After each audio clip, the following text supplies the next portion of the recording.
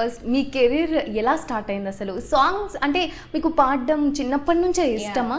ఏ ఏజ్లో స్టార్ట్ చేశారు మీరు? సో నేను బేసిక్గా అరౌండ్ ఒక నాకు తెలిసి three three and half years ఉన్నప్పటి నుంచి నేను ఓ పాడుతున్నాను అంత చిన్న ఏజ్ అప్పటి నుంచే. అంటే మా అమ్మ వాళ్ళు నన్ను సంగీతంలో జాయిన్ చేస్తారు Okay.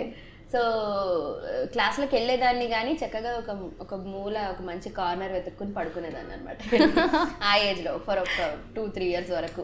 త్రీ నుంచి ఫైవ్ వరకు వేసుకోండి. తర్వాత మెల్లిగా నాకు కూడా సంగీతం ఇంట్రెస్ట్ ఉండేది. ఎందుకంటే అంత చిన్నపిల్లలు ఏదో పంపించినప్పుడు ఏడుస్తారు.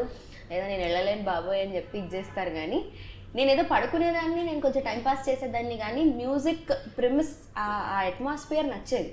సో ఐ థింక్ మా అమ్మ వాళ్ళకి అది అర్థమైనట్టుంది. ఎప్పుడు ఆ విషయంలో మాత్రం గివ్ అప్ చేయలేదు. అస్సలు. ఆ, ఇంకా నువ్వు వెళ్ళనంటే తన్నిన రోజులు ఉన్నాయి కానీ నన్ను. సో అంతేగాని నెవర్ గేవ్ అప్ వాళ్ళు ఎప్పుడు నన్ను పంపించేవారు అనమాట Hmm. సో అలా రెండు అక్కడ ఆ మూడేళ్ళ నుంచి మూడున్నర ఏళ్ళ నుంచి వెళ్తూ ఉండేదాన్ని. తర్వాత అక్కడ అక్కడ ఉన్నప్పుడేమో పెద్దాడి సూర్యకుమార్ గారని ఆవిడ దగ్గర నేర్చుకున్నాను కర్ణాటక సంగీతం. ఓకే. ఆ తర్వాత హైదరాబాద్ వచ్చేసాను నేను ఒక అరౌండ్ సిక్స్ అదే నా ఫస్ట్ క్లాస్ ఉన్నప్పుడు ఆ టైంలో హైదరాబాద్ వచ్చేసాను. వచ్చిన తర్వాత ఎన్సి మూర్తి గారు అని ఉండేవారు అనమాట Hmm. ఆయన దగ్గర ఒక పన్నెండేళ్ళు కర్ణాటక సంగీతం నేర్చుకున్నాను.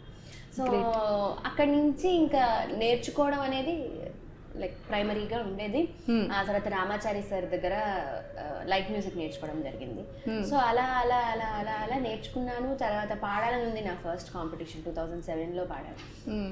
పాడాలని ఉంది పాడాను టూ థౌజండ్ ఎయిట్లో సరిగమప్ప రన్నరప్ Hmm. లిటిల్ ఛాంప్స్లో దాని తర్వాత పాడాలని ఉంది పాడాను అలా కొన్ని కాంపిటీషన్స్ పాడాను నాలుగైదు.